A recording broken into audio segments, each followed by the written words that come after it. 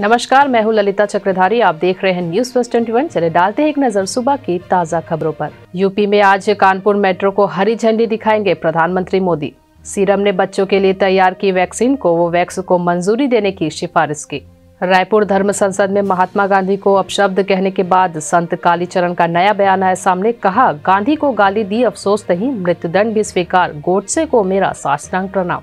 Omicron ने पकड़ी रफ्तार। एक दिन में सबसे ज़्यादा 135 केस मिले। देश में कुल मरीजों की संख्या 670 हुई। पुलिस कार्यवाही के खिलाफ डॉक्टरों के समर्थन में उतरे राहुल प्रियंका। मोदी सरकार पर साधा निशाना। लुधियाना कोर्ट ब्लास्ट केस में मिली कामयाबी। जर्मनी से एसएफजे का मेम गिरफ़्तार। दिल्ली, मुंबई में भी रची गई थी धमाकों की साजिश। बच्चों के वैक्सीनेशन को लेकर हेल्थ सेक्रेटरी राजेश भूषण सभी राज्यों के चीफ सेक्रेटरी के साथ करेंगे मीटिंग। निर्वाचन आयोग की टीम आज से तीन दिन यूपी के दौरे पर। कोरोना के बीच चुनाव कराने पर हो सकता है बड़ा फैसला। महात्मा गांधी पर अपमानजनक टिप्पणी करने के बाद रायपुर के एक सरकारी अधिकारी को किया गया निलंबित। दिल्ली में कोरोना की स्थिति पर आज समीक्षा बैठक करेंगे सीएम अरविंद केजरीवाल। ऐसे ही तमाम जानकारी से लगातार अपडेट रहने के लिए हमारे चैनल को लाइक और सब्सक्राइब करना ना भूलिए। नोटिफिकेशन के लिए बेलाइकन को ज़रूर दबाए। देखते रहिए न्यूज़ प्लस ट्वेंटी आपके हक की बात।